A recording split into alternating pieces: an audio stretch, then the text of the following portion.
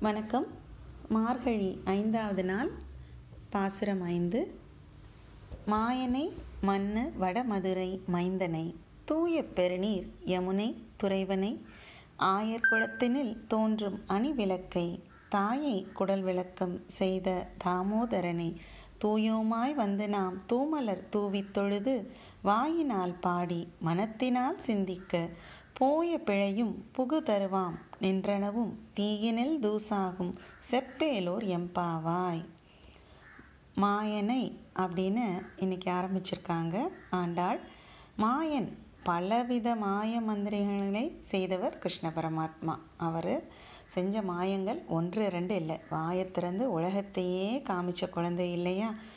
பிறப்பில் இருந்து அத்தனை வதங்களும் சரி எல்லாமே மாயம்தான். வடமதுரை வடமதுரை அப்படிங்கிறது மதுரா கிருஷ்ணருடைய பிறந்த இடம். அவர் அந்த வடமதுரையின் மைந்தன். அங்கே பிறந்ததுனால வடமதுரை மைந்தன் அப்படின்னு அவரை குறிப்பிடுறாங்க. தூய பெருநீர் யமுனை துறைவனை.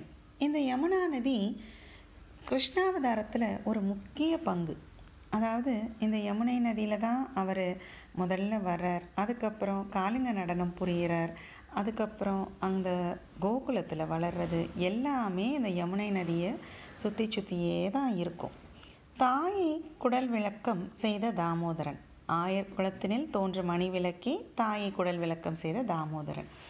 ஆயர் குளத்தில் பிறந்த ஒரு சிறப்பான விளக்கம் அதாவது எல்லோருக்கும் கிருஷ்ணர் என் வீட்டு குழந்தைன்னு சொல்கிற அளவுக்கு உள்ள அந்த கிருஷ்ணர் தாயை குடல் விளக்கம் அப்படின்னு குறிப்பிட்டிருக்கிறது. பிறந்த தாயான தேவகியையும் நம்ம நாம் பொருள் எடுத்துக்கலாம். அதே மாதிரி தன்னை வளர்த்த எடுத்த யசோதார். ஏன்னா தாமோதரன். தாமோதரன் அப்படின்னா இன்றைய கோலத்தில் கூட காமிச்சிருக்கேன் பாருங்கள் யசோதா அம்மா கிருஷ்ணரோட சுட்டித்தனம் தாங்காமல் உரலில் கிருஷ்ணரை கட்டி போட்டிருந்தா. ஆக்சுவலாக அவர் ஓட ஓட யசோதா அம்மாவால் பிடிக்கவே முடியலை. ஆனாலும் அவர் பரபிரம்மம். அவரை கட்டி போடுறதுங்கிறது முடிகிற விஷயமா என்ன? இருந்தாலும் அவர் யசோதாவோட அன்புக்கு கட்டுப்பட்டு ஐயோ யசோதம்மா நீ ஓடாத நானே என்னை கட்டிக்கிறேன் அப்படின்னு சொல்லி கட்டிக்கிட்டாராம். தாமம் அப்படின்னா கயிர் உதரன் அப்படின்னா இடுப்பு அப்படின்னு பொருள். இன்றைய திவ்ய தேசம் வட மதுரை.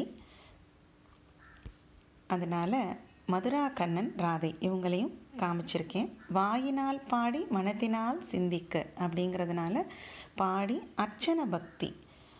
பூக்களால் அர்ச்சனை செய்து நாம் நம்முடைய சாபங்களை எல்லாத்தையும் தீயில் போட்ட தூசா